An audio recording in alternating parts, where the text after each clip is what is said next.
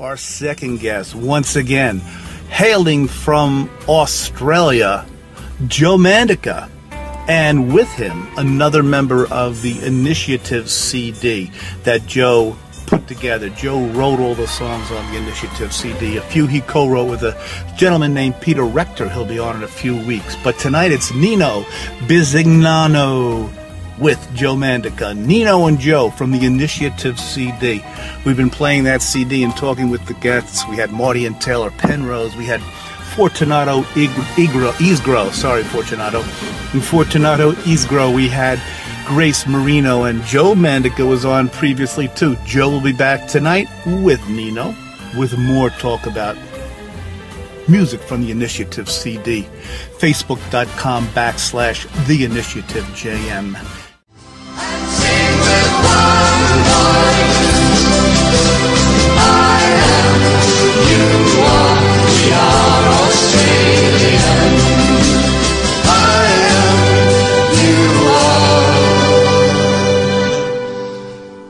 We are Australian.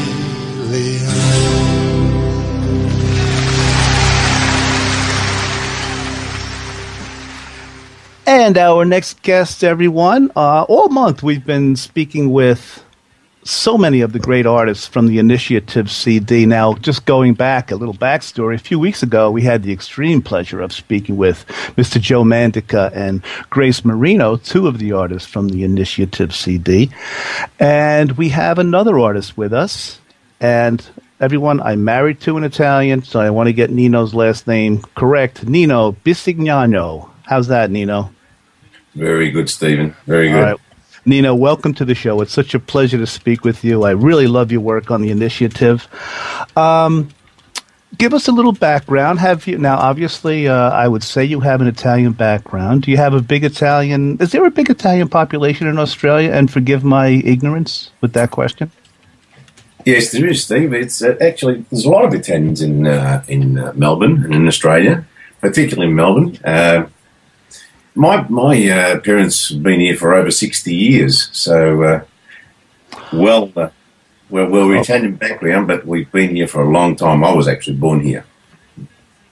And what brought, your, what brought your family to Australia, if you don't mind me asking?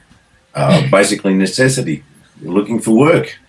Mm-hmm. Uh, in Sicily, there wasn't a lot of work, so uh, Dad decided, a young bloke, uh, that he'd come to Australia and look for work. And this is where he based his family. Well, I'll tell you, your your your work on um, on the initiative. Uh, we, last time when Grace and Grace Marino and Joe uh, Joe Mandica were with us, and Joe, you're there as well, aren't you, sir? I'm here, right here. okay, we're going to say hello to you in a few minutes, Joe. It's nice to hear your voice again. Uh, we listened to the song "You Like Me" last time when Joe and Grace were on. Nino, uh, I'd love to speak to you about the uh, the song "Anymore," which we're going to listen to in a few minutes. But first, why don't you give our listeners a little background? How did you hook up with Joe and your musical uh, background, things like that? Give us a little a nice backstory, if you don't mind. Okay, Steve. Uh, well, look. I've always been interested in music. I, I do love singing. I, I, love playing a little bit of guitar just for my own personal uh, uh, fun, and um, I've always enjoyed it. And uh, I like going out. We go out with a lot of people. And Joe was performing at uh, a club one night in in Melbourne, and uh, I, would seen Joe before. And you know, when he sing, we all sing along. And I asked him for a song one night, and he said, "Only if you sing it." I thought uh, okay, let's give it a shot. Um, so he, he, called me up and I sang this song. I think it was an Elvis song, wasn't it, Jane? Uh, Welcome to my world. Yeah, yeah, that's right. Yes. Mm, nice song. And it became a bit of a regular feature that he'd, he'd get me up to sing the song, and that was about what five or six years ago. And yeah. that's how I got involved in with Joe, really. And then we've become good friends, and we've had good fun since. Well, speaking of good fun, um, I was going to say let's go to the song anymore, which we will, but I, I have a line that uh, I'd like to uh, recite from the song, Nino, uh, written by Joe Mandica, by the way. The song is called Anymore. She won't look at me. She won't fight with me. Now, uh, Joe, you're there too. Boy, is that ever a, uh, uh, a feeling of despair. I mean, she won't even fight with you. Uh, fight with me? Nino, did you? What did you when you read these lyrics? What did you say to yourself? Um, okay, how am I going to present this? Is there something that goes through your mind as a singer as just to how to translate these lyrics to your audience? Nino? Well, yeah, there was, uh, Steve. Uh, it just so happened that I went through a, uh, a divorce some 10, 11 years ago, and so I could relate to what Joe was uh, talking about. So I put myself in that position and, and, and sung that song and realised that all these things that Joe was writing about was exactly how things happen. Yeah, you just get to the point, Steve. I could just interrupt, um, sure. where even you can't even argue with this person anymore. You know, let alone get along with them. Uh, it was sort of was a bit funny. I said to Nino when he went in, I said, you know, it's not a slash your wrist type lyric. It's more like a, it's more like a. You've, you've gone to the bar, you've bumped into a mate, and you start just in very in very tongue in cheek style. Well, she won't talk to me. You know, she won't even sit with me. She won't even fight with me. You know, and we sort of it's a bit of a sort of a nudge. So we didn't want people to get too too distressed about it. It's a bit of fun. At the same yep. time, it's a bit of um, even if it, it, it's just it's just life. I think it's life, you know. music is so universal. I think it might be a perfect time right now. Let's listen to from the Initiative CD, Mr. Nino Bisignano with "Any More," a great song. Here we go.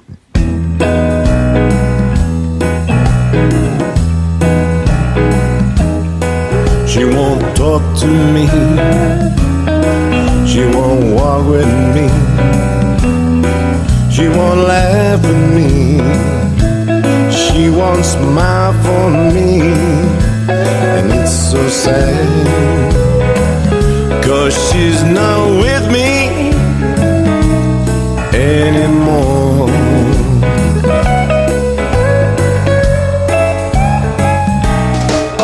Look at me. She won't fight with me. She won't sit with me. There's no hope for me. And it's so sad. Cause she's not with me mm, anymore.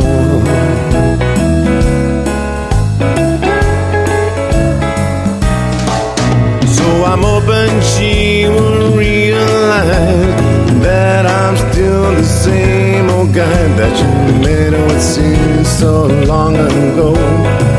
How can I make sure she knows that I miss her so? That I need her so. Won't you hear my plea? Babe, come home to me. Cause I'm so sad Cause you're not with me mm, anymore.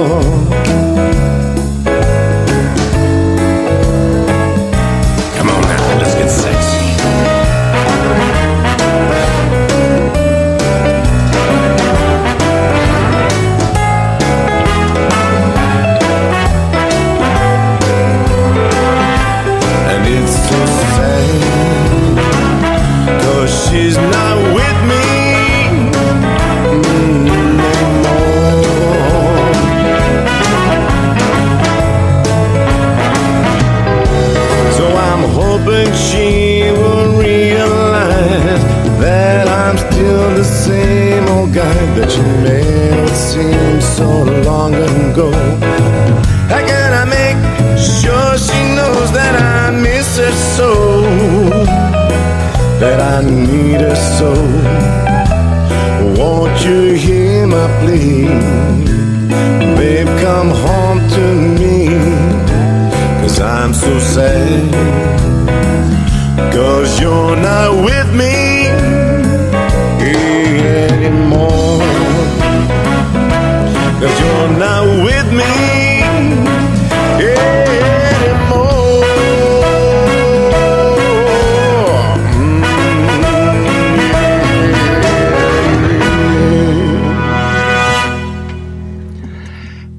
And that was Any More from the Initiative CD from our guest, Nino Bisignano. And talk about music being universal. Boy, uh, it's just, uh, I Joe, first of all, you're there. I love your lyrics. I love your music, and Nino, I loved your your presentation of that song. Uh, congratulations on such a great song. Thank you. Thank you. Now, um, please tell us a little bit about the initiative launch party that uh, that took place.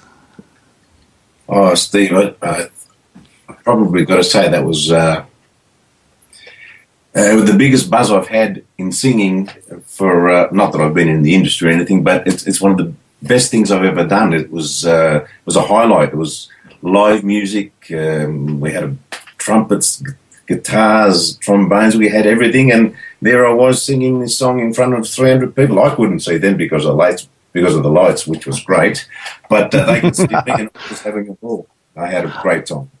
I'm sure you could feel their vibes, though, even through the darkness. It was great. It was great. It was just, and, and, and when we started singing that song, and as Joe pointed, because I couldn't see, all these people came out and started dancing on the dance floor. It was uh, was a great feeling. Great feeling. As, a matter, as a matter of fact, the arrangement on the Initiative CD features the Initiative Orchestra. Joe, why don't you? Uh, can you give us a little background about the Initiative Orchestra? How do you, how do you choose the musicians? Pretty much uh, just people that you've known throughout your life, or how how does one choose an orchestra? Yes, Steve, um, you're absolutely right. The whole project is people that have come in and out of my life, um, musicians, singers. I tried to, to basically, you know, um, I wouldn't say we repay a favour, but I wanted to, to, to, to, contact everyone that had come through uh, musically for whatever reason over the years and say, listen, um, let's get together and do something. And it was marvellous when they when everyone got on board to, to show their talents. All very talented people um, that were given a chance to shine. And you can hear the result. Um, it, w- it, was a great choice of everyone that was involved. And we just titled all those people under the banner of either the Initiative Band or the Initiative Orchestra, just to make it simple. But they're all musician friends, yes. That's the mm-hmm. answer to the question. Uh, uh and, and um, listeners, uh, I'm sorry, yes. Nino? No, I was just going to say um, oh. We, we, mentioned the, the, the event was filmed and um, it's uh, we're going to start putting up some clips on YouTube very soon and get a copy of that show to you, which I hope you'll enjoy and you'll, you'll be able to see all the all what Nino's talking about on the night, how, how magical it was for us. Oh well, uh, I am certainly looking forward to. It. When will it be released commercially? Well, it's um, we for Christmas we had some. I mentioned last time we had some um, copies pressed uh, just for the members of the band as a bit of a nice Christmas uh, gift for everyone because um, we ran out of time commercially. But um, uh, in the next week, hopefully, I'll be able to announce on our page that um, if anybody wants to get a copy of the DVD, it's available for sale. And also, we'll be putting up the clips on YouTube. I think we've put one up so far of Grace singing "Survive" yes. night. Wonderful clip. And um, and then we'll put all the other singers up as well. These things, you know, it's such an urgency. We're so excited to do it, but they all take a lot of time. Um, yes, and it's something I, I think as a as a as a layperson myself, you know, you put a DVD DVD and you say to yourself, well, if they set up a camera, did the show, how come it wasn't out two days later? But my goodness, how how uh, how naive uh, would, is that thought uh, by me? I'm sure it takes so much uh, so much work. Yeah, yeah, it does. It's a lot of work, but um, yeah. So, listen, everyone, um, we have a few more minutes with Nino, but I want to make sure everyone goes to facebook.com backslash initiative. Is it the initiative, JM, Joe, or yes. just. Yes. yes. I'm sorry. Facebook.com backslash the initiative JM. On Facebook, all the information you need for the initiative is on there. Once again, facebook.com backslash the Initiative JM. Nino, tell me there's a there's a full CD in your future, please. You have such a wonderful voice and a wonderful delivery. Oh, that would be great, actually. Uh, well, uh, well, hopefully with uh, Joe's uh, help, because uh, pretty much Joe was the uh, one that gave me all op- this opportunity, and um, I feel comfortable when he's around to do things. So, with, hopefully, with his help, we'll we'll put one together. Yeah, uh, I, would look forward to it. Yeah, it's nice that you say that, Steve. Um, obviously, you know you have become a fan, and and some and Nino's got a lot of fans. They love his voice. I was recently at a at a function where the CD was playing in the background, and when the song Anymore came on, someone said that's Nino singing. So he's got a very distinct sound. Wow, you know, I'll say. I'd say that an album would be a great idea. Uh, Wonderful. Yeah. Well, we look forward to it. Nino, where can uh, your Australian fans catch you coming up? You have any any gigs set up or something you hope for in the future? Um, well, I haven't got anything planned at the moment, but uh, yeah, I, I, suppose it'd be something I'd like to do with uh, you know with part of the the uh, the band and see if we can put a bit of a show together. I, I'd look forward to that. We hope to come to, to, to New Jersey and do some shows there. How's that? Uh, are you kidding me? That would be talk about a, a, a gift. We would love to see the whole initiative Awesome. crew. Find some venues. Um, Organise it, get a few venues and we'll, we'll organise some gigs. Yeah. Are you kidding? If I know you're coming, we'll have. There are some really super venues in New Jersey and the New York area. You passport right now as we speak. right now, I'm I'm online. yeah, because Nino, you can't keep your talents under wrap like this. You, you've got to get out there and uh, really share it with everyone. Uh, before we say goodbye.